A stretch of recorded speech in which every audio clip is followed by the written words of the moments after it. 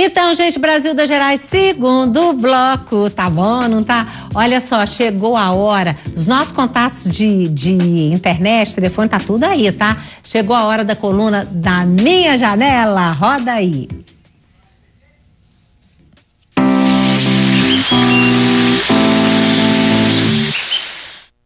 Então, gente, o Israel Alvarenga, da cidade de Campo Belo, que fica em Minas Gerais, né, enviou essa foto pra gente. Olha só a Olha, olha a vista que ele vê da janela dele. Eu não tô, não, não é possível, gente. É uma maravilha. Bom, se não for da janela, tá valendo do mesmo jeito que olha que coisa maravilhosa. Faça como ele, gente. Manda pro brgerais@redminas.mg.gov.br ou facebook.com/barra Brasil das Gerais. Vai lá, às vezes a gente não tem tempo de olhar pela janela. Vai, olha, faz a foto, manda para nós. Olha só o resultado da enquete do dia o seguinte. O preconceito com pessoas com síndrome de Down ainda existe? Foi a nossa pergunta. 47% das pessoas que responderam à nossa enquete acham que pessoas com síndrome de Down estão inseridas na sociedade, mas ainda sofrem com preconceito. 53% acham que existe preconceito sim, mas que já diminuiu muito. Como é que você vive essa questão? Existe ou não existe? Existe. Eu acho que é bem diferente de tempos atrás, né? É. Mas é. ainda existe. É velado hoje em dia, mas existe muito. Uhum. Existe tudo. É, Você... Ah. é, tipo assim, se acontecer alguma coisa, se, se um menino numa escola bater no outro, ah, bateu por causa da idade. Se a minha bater, bateu, porque tem síndrome de Down. Uhum. Então tem, tem muito dessas coisas uhum. ainda. O olhar é um olhar de estranhamento. Uhum. Você sente isso, Bruna? Sinto. Conta pra gente como que você sente isso. Quando hum. as pessoas olham para você, você não acha você não acha ruim quando ficam ah, olhando muito? Muito. Uhum, quando tá olhando demais, né? Pra quê, né? Olhe para mim, não sei por quê. Hum, porque você é bonita?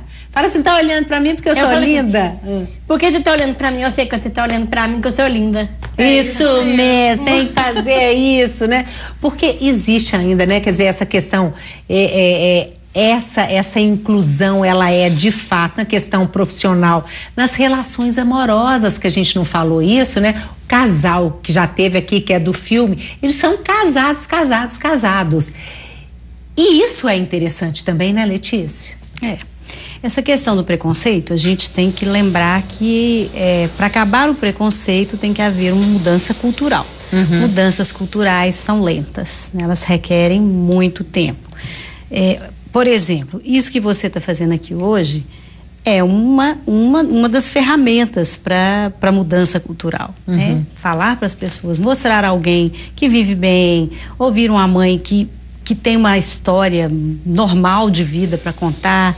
Isso é uma forma de mudar a cultura, né? Uhum. Então, às vezes as pessoas falam, é, estranham, tem algum preconceito porque não tem nem contato com alguém com síndrome de Down. Uhum. Nunca viram como que essa pessoa vive. Uhum. É, partem do pressuposto que ah, pessoas com síndrome de Down são todas carinhosas, vêm, beijam, sentam no colo, ou são agressivas. Então, tudo isso é preconceito. Uhum. Pessoas com síndrome de Down são seres humanos, como Sim. quaisquer outros, uhum. que, educadas por famílias que têm um determinado tipo de, de vida, ou com uma super proteção, ou com mais naturalidade, elas vão resultar em pessoas completamente diferentes umas das outras. Com certeza. Esse estereótipo também é um preconceito. Uhum. Inclusive, para quem não sabe, a, a síndrome de Down é um acidente genético, né?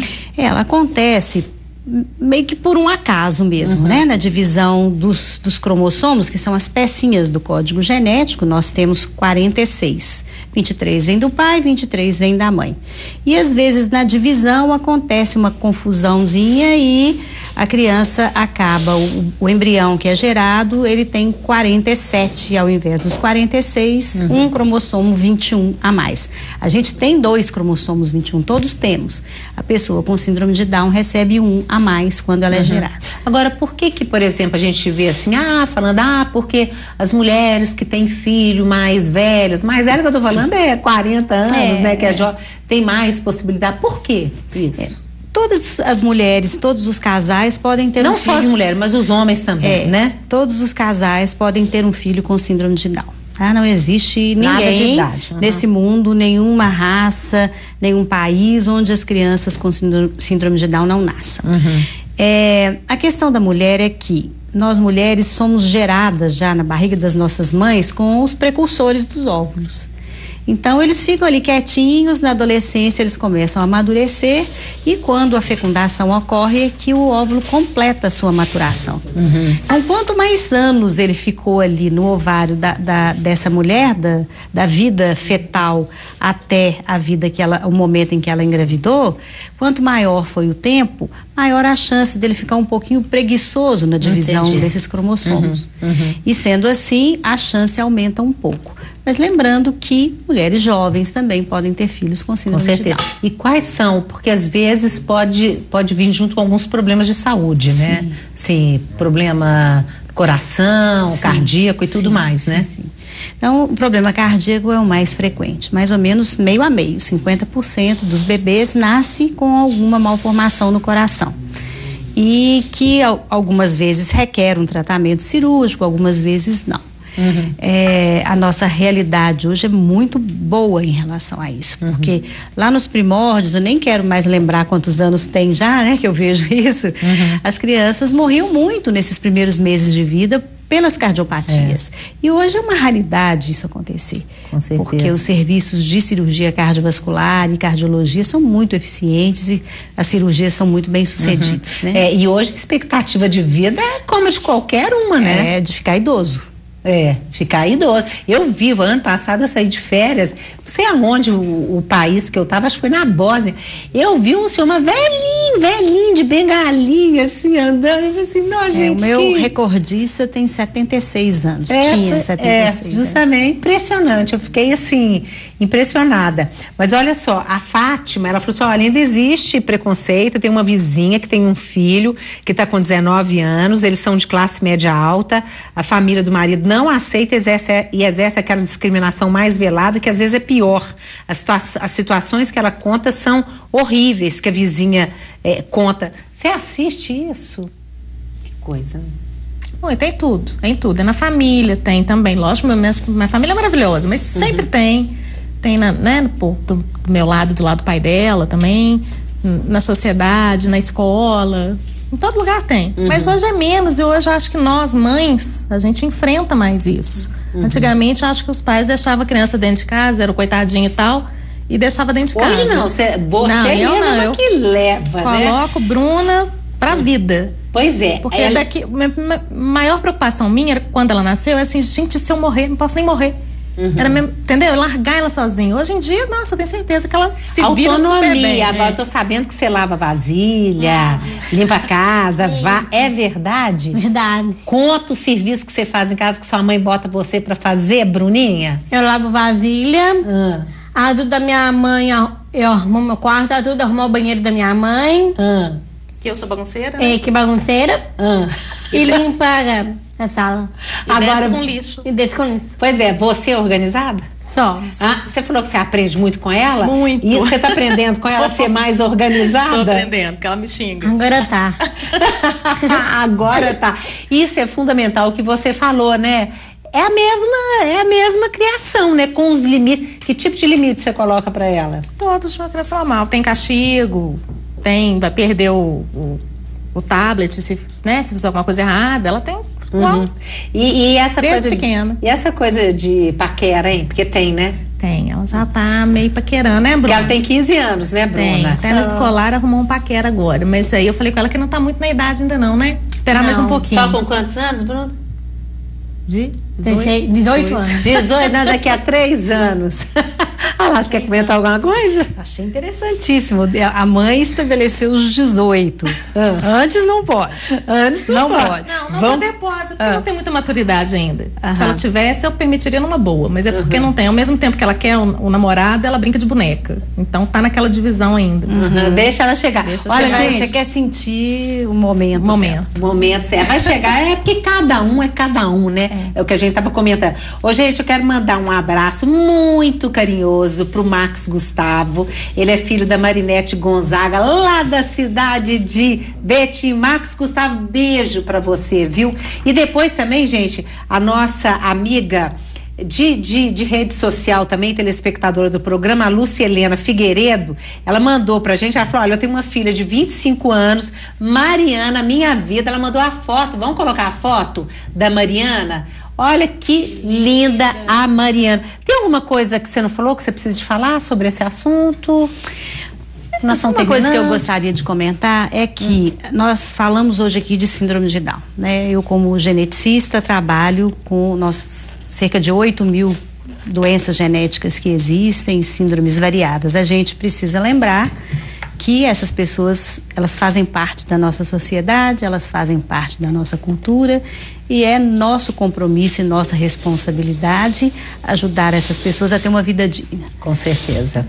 E viva a diferença, né, gente? É, a gente tem que entender isso. Parabéns seu trabalho, Bruna. Joia, viu? Ed, conta pra gente, Ed. É, você morou na rua quanto tempo? Fixo mesmo, dois anos e quatro meses. E você dormia onde? Praça da Estação. Você sempre lá na Praça da Estação? Sempre na Praça da Estação. Ah. É como nosso amigo disse, eu rodava, rodava, mas o local de dormir era e, na Praça e, da Estação. E, porque nós temos que resumir a sua história. Por que, que você foi parar na rua? Porque você tinha família, né? Sim, foi desentendimento é, familiar mesmo. A maioria dos moradores de ruas são desentendimentos com a família. As pessoas ficam coisa e vão embora pra rua. Sim. Como é que você conseguiu sair da rua? Um rapaz, ele me abordou, ele me ofereceu N propostas para mim voltar para casa da minha mãe, e ele falou que se eu falei, contei minha história toda, e ele falou assim: "Olha, se, se sua mãe não te receber, amanhã eu te pego, levo para minha casa, arrumo um emprego para você, arrumo uma casa para você pagar aluguel e, e, se sustentar". É um anjo que apareceu para você. Sim. Hum. É, foi o próprio mesmo. O Espírito Santo mesmo. E você voltou para casa da sua mãe? Voltei para casa da minha mãe, minha mãe me recebeu é, e tudo começou a acontecer na minha vida. Mas você já cantava antes? Não, não cantava. Você nunca imaginou? Não Você imaginei. não se sentia cantor? Não, não me sentia cantor. Gente, olha que coisa, hoje, hein? É, não e me aí sentia. me conta, hoje você é casado, mora na sua casa, tem chuveiro quentinho, porque ele contou pra gente que mesmo na casa da sua mãe não tinha o banho quentinho, né? É verdade. E você queria um banho quentinho, que é muito gostoso, mesmo somente quando tá fazendo um pouco de frio, né? A gente verdade. sabe disso. E você já tem dois filhos. Sim, tenho dois filhos. E essa oportunidade de se tornar cantor compositor. Gente, quando é que você se descobriu cantor e compositor? Ah, foi quando eu comecei, voltei das ruas, comecei a frequentar a igreja. E quando eu comecei a frequentar a igreja, aí eu fui aprendendo. Que cantando. igreja que você é? Me conta. A igreja que eu sou hoje, é. Comunidade Batista Shalom Internacional. Olha, que legal. Você canta na igreja. Gente, ele canta na igreja, mas ele canta nesse país todo, até para fora do país? Sim. Agora tem uma turnê internacional, estou indo para Argentina. É, vou estar tá fazendo um show lá uns hum. 15 dias aproximadamente. E tem várias matérias minhas também, dou entrevista em rádio. É, já dei palestra para a Polícia Militar também de Belo Horizonte. Essa é cena, que, como é que a polícia tem que tratar o pessoal da rua, né? outrora, eu, outrora eu tomava banho ali na Praça Rô Soares, a polícia me dava uma, uma sossegada, mas hoje, estou no meio deles aí dando uma palestra, assim, Deus mudou verdadeiramente a minha história. Ai, que bom, gente. Olha, eu fico tão feliz de ver o divino, de ver você. É tão legal, né? De ver a Bruna e de ver a gente aqui, porque viva a diferença de novo. E ó, bom demais. Vamos terminar cantando para nós? Programa de amanhã, gente, cirurgia bariátrica. Ela funciona para quem? Vou falar disso. Tem outras coisas também. Tem a coluna Faça Você, tem a coluna Delicadeza. É terça-feira, é 8 e 15 da noite. E é aqui na Rede Minas. Obrigada por tudo, tá? Até amanhã. Ah, peraí, beijo. Manda beijo. Eu quero mandar um beijo pro meu tio. Hum. E um beijo pro meu avô, que eu tô morrendo de saudade deles. Opa, da turma. Olha, quer mandar pra turma da dança, pra turma da. Avó, pro avô, pra zumba, pra todo mundo. Isso mesmo. Parabéns, viu, linda? Obrigada. Vamos lá? Ah. Eu já tinha mostrado, mas vou mostrar de novo. Quem quiser comprar seu CD, onde, onde quer? Na Livraria Ômega. Eu hum. posso deixar um contato também? Pode, pode. Tá. Pra quem quiser, tá procurando levar o Ed Rodrigues, fazer uns shows aí, é 7118-5592. O prefixo é o 31. Tá, o seu site tá ali no ar. Ah, ok. Tá bom, só entra lá. Vamos lá, canta, canta, canta. Vamos lá. Vou cantar a, a, a música que fala da minha história. Milagre sou um, de novo, milagre sou eu, porque é a música que tá, tem conquistado a nação, a todos aí. Um, dois, três, quatro. Milagre sou um, milagre sou eu, e eu sou um milagre. milagre sou um, milagre sou eu, e eu sou um milagre. Escute isso aqui, ó. E eu estava tão sozinho, sem ter o que fazer. Não tinha onde dormir, nem o que comer. Mas agora Jesus Cristo mudou o meu viver. Por isso eu posso dizer: milagre